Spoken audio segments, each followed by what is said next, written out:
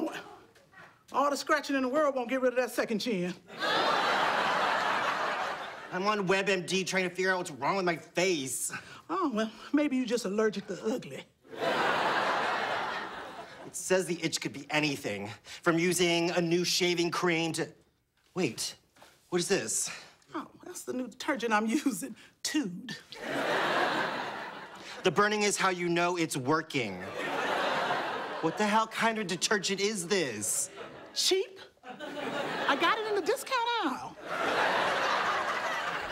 Wait, did you wash Josh's underwear in that? Yep. I followed the instructions.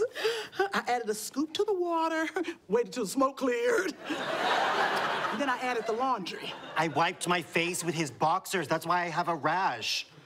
What the hell are you doing shopping in the discount aisle? Josh is loaded. What's your angle?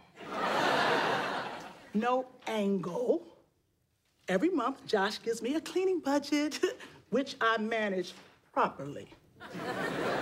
So you buy cheap products and then pocket the rest? Damn it! Don't worry, I won't tell him. If you cut me in for half.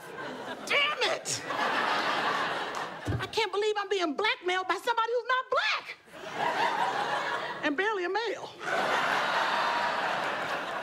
Okay, you're in. Yay! Now I can buy that Japanese toilet I've had my eye on.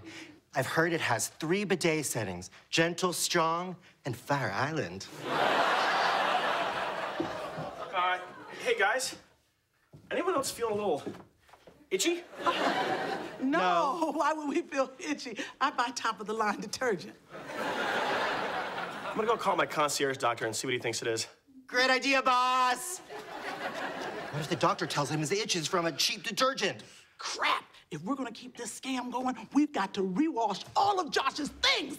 Quick, go upstairs and get all of his underwear. Best day ever!